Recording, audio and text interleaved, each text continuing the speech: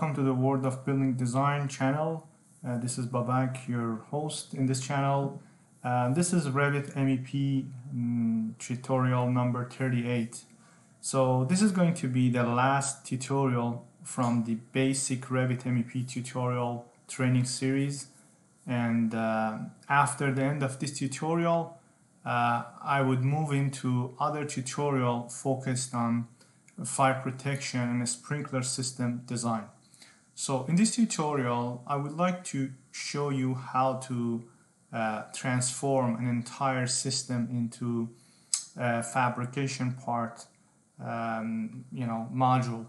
So in this case, I'm going to create a new, um, you know, mechanical model. So going to a new mechanical model, as usual, in the model in the new I'm going to select a new and then in the construction template I'm going to select a mechanical template. And then making sure that we are in the metric mode. So I'm going to see and double check. This is mechanical default metric. Um, that's the unit in which we are doing this uh, you know this uh, modeling. Uh, I'm going to select open and then go OK so once we have opened a new um, mechanical model in metric unit, I would like to attach an architectural uh, sample plan that we used to use in the previous tutorial. This is a refresh attachment. Uh, we have done all of this tutorial before. This is a repetition of what we have done in the past. So uh, now what I want to do is I'm going to link the architectural plan to, to this Revit MEP model. So then what we used to do, if you remember, we, we could go to insert tab on the top and then use uh, link Revit, or you could come all the way down on the link, Revit link in here on the left hand side project browser, right click and then press on a new link. So once you press on a new link, a new box opens up and then from there I'm going to select my uh, directory in which I have saved my architectural floor plan. So I'm going to go to this tab, I'm going to copy and I'm going to bring it in here, put it in here, open, and then from this list, I'm going to find architectural and then make sure that your positioning is auto origin to origin and then I'm going to go OK.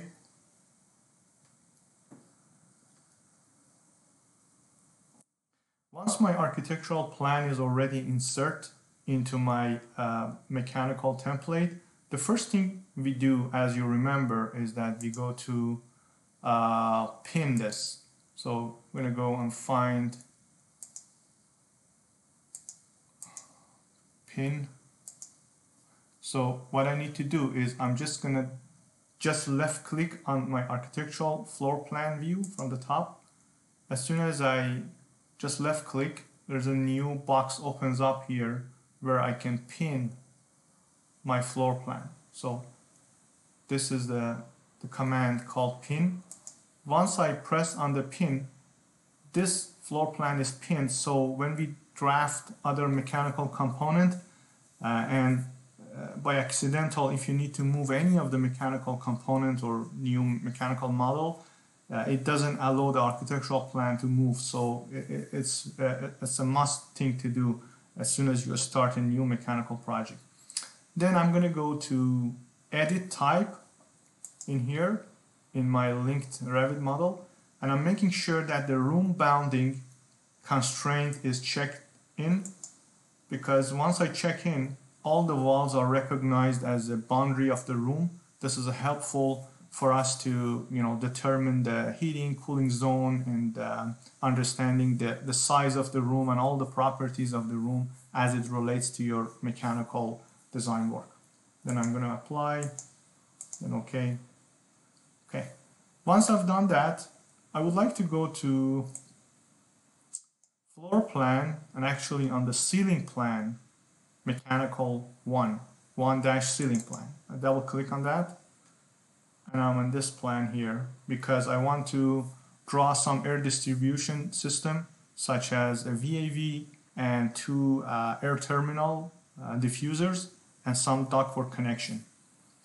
So I'm going to go to System tab on the top. You remember this from the early on tutorial of the basic Revit MEP training where we could go to System and then on the mechanical equipment command in here you select and then from this tab basically I'm looking at the VAV units. So I'm going to go and grab a VAV uh, size 3, 250 millimeter. I'm going to select that.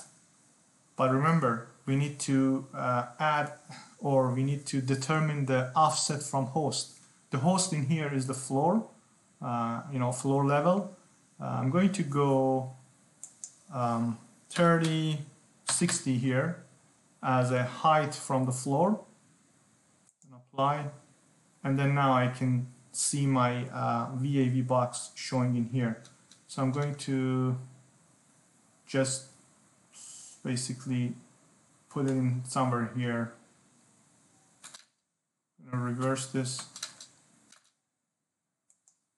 Let's put it in here I just want to highlight to see which direction it is. Basically, this is out direction, and this is good. That's the direction I want to, to see because this is basically as an air distribution, um, actually low pressure air distribution to the terminal units. Then what I'm going to do, I'm going to bring um, basically two uh, terminal units from the top in the system. I want to bring to a diffuser basically what it is right now here is a good thing I, I can select. Actually I'm gonna I want to have a supply diffuser. So I'm going to select the supply diffuser and give it an elevation of um, 2450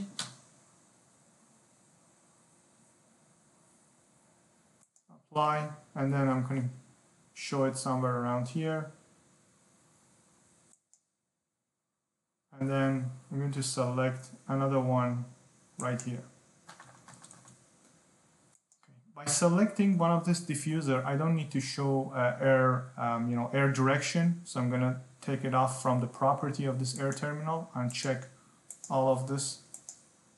Apply. I'm going to remove that. Do the same with the other diffuser and then apply. Then I'm going to select my um, VAV and then where the create duct showing up in here? Out I'm going to pick a duct work. Like I'm going to use the default size which is uh, 350 by 280 height. I'm going to select the same one I'm not changing it. And I'm going to extend the duct work all the way to here. And then escape a couple of times. I'm going to cap this duct work by highlighting this duct and then cap the end of this duct. The other thing I want to do is I want to highlight this uh, air terminal and then I'm going to use this command called connect into. By pressing on the connect into, then I'm going to select my ductwork and see what happens. So you see that's the automatic connection um, of my duct from the terminal unit is a hard duct or it's a rigid duct that is connected directly to, uh, to the main distribution duct. Let's do the same with the other one and see what happens. First select the air terminal, connect into, and then the actual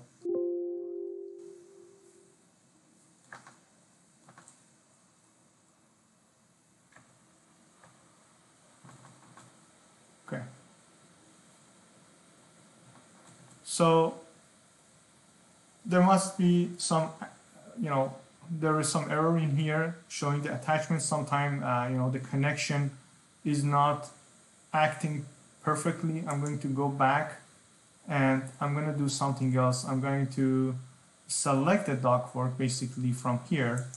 To select the duct. First, before I do that, I'm going to check this ductwork, see what is the middle elevation of this duct is 30, 60. So I want to do a new duct. Basically, I'm going to go to the duct. I want to select the run duct rather. So I'm going to go to tabs and then so the middle elevation is 3060 so that's good so I'm going to basically get the middle making sure that this is in alignment with the center of the air terminal so I'm going to select that and come all the way to here.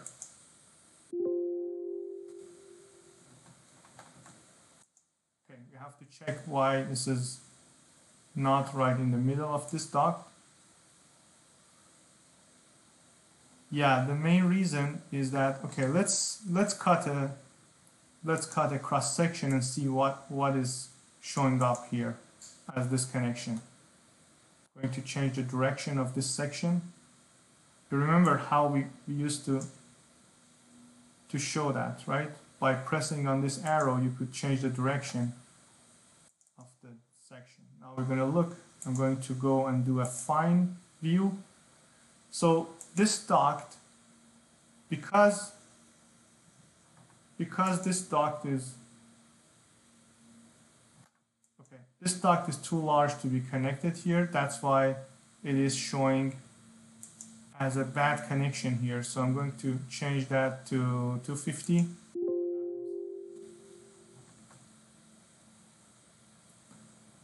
So let's go back to ceiling plan. I'm going to basically take this whole duct, highlight, delete, more connection here. Let's get a duct, a round duct. I'm going to set a 200 duct here.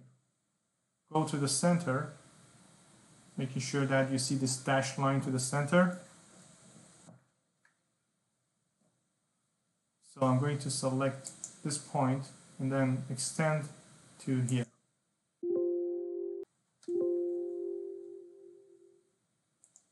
Now, I'm going to take this duct, right click, and then I'm going to create a, draw a flex duct. For the flex duct, I'm going to use the same diameter, and I'm going to go to the center of this and make a connection. So let's have a 3D look at what we have done so far. So we have done this duct connection through the flex duct, round rigid duct, and also a hard rigid rectangular duct to, to this. I want to create a section to see how this how our terminal units are flashing with the ceiling plan. Let's move this a little bit further and take this to here. I'm going to look at the section. See our we are fairly good in terms of how we have flashed this with the ceiling plan. Okay, go back to the ceiling mechanical. So now what I want to do, I'm going to select the tab or press on the tab two times until I select all of my systems here. And then now what I want to do, I want to make sure that we have all my fabrication already in the system. So I have to go to system in the fabrication part, the fabrication setting, just to see if I have anything loaded. Have to go to Revit MEP metric. I'm going to select only the duct work for this um, because we had mostly the duct work as a system here. So I'm going to select all of my duct related items and then put it in the loaded services here. Then go OK. And once we have done that, I want to do a tap a few times until the entire system is connected or selected. And then what I want to do, I want to go to design to fabrication command here.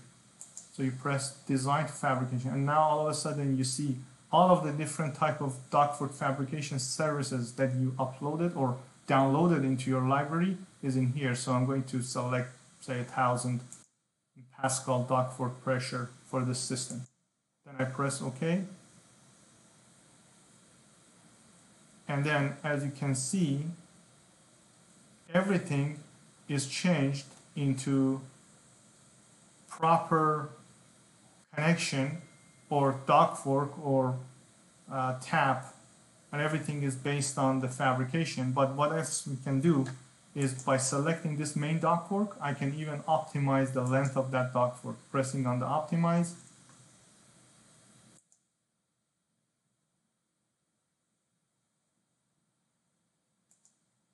So let's see what is the issue here. I'm going to relocate this a little bit by highlighting on this duct.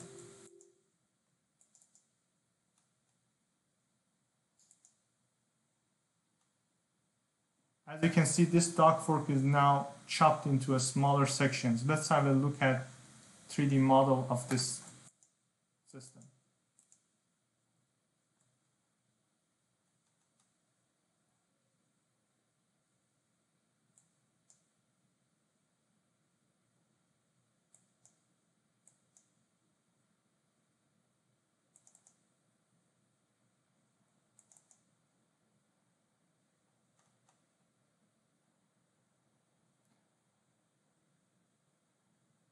Okay, let's go back to ceiling plan mechanical.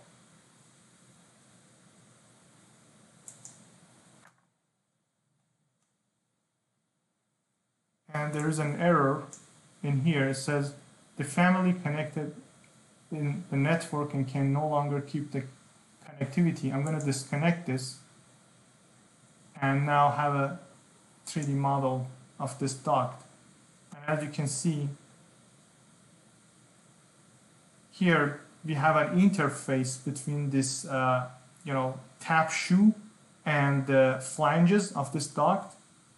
So what I'm going to do, I'm going to go back to ceiling plan and I'm going to relocate this entire pieces. So I'm going to tap on the whole system, highlight, and then nudge it to the right hand side by the you know arrow key.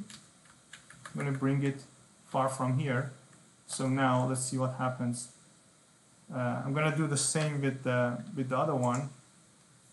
Nudge it to the left side, okay? And so now I'm gonna select everything again.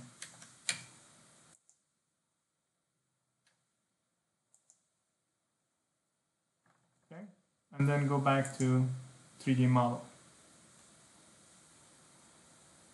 So that's basically you transform a Revit MEP model into fabrication. After designing a system, you download all of the relevant fabrication parts and then you use the fabrication uh, command or fabrication fabrication command by highlighting then you use the changing into the fabrication so thank you very much for watching this video and uh, I hope you have enjoyed this series of uh, Revit MEP tutorial. These are basic tutorial. And in the next series of uh, Revit MEP, I want to focus on the uh, fire protection and sprinkler system design. Thank you, and I, hope, and I hope you enjoyed this series.